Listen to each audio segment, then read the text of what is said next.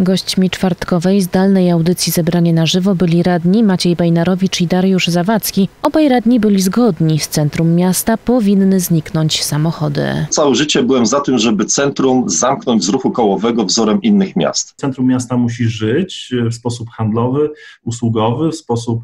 Ja sobie wyobrażam tam, że po prostu będziemy mieli naszych lokalnych grajków, którzy będą tam grali na tym rynku, będzie się. A przedsiębiorców. Tańce, przedsiębiorcy. Proszę Państwa, to, to jest centrum miasta, do tego powinniśmy dążyć, powinniśmy się naprawdę y, lepiej czuć y, w centrum miasta. Samochody są tam niepotrzebne. Takiej decyzji nie wolno jednak podejmować pochopnie. W centrum miasta ruch należy wyłączyć po spełnieniu podstawowego warunku. Pod warunkiem wybudowania parkingów buforowych, w tym wypadku parkingu przy ulicy Kamiennej. Tyle, że rozmowy o parkingu toczą się od dawna, pojawiają się trudności i w tej chwili nawet do zakończenia prac projektowych jeszcze długa droga. Projektowanie zostało wstrzymane, bo konieczna jest zmiana planu zagospodarowania przestrzennego. Y, Musimy się szybciej za to zdecydowanie zabrać, bardziej zdecydowanie, mniej zajmować się sprawami, przepraszam, że to powiem, jakimiś w cudzysłowie y, pierdołami, czyli konferencje prasowe o, o, o niczym.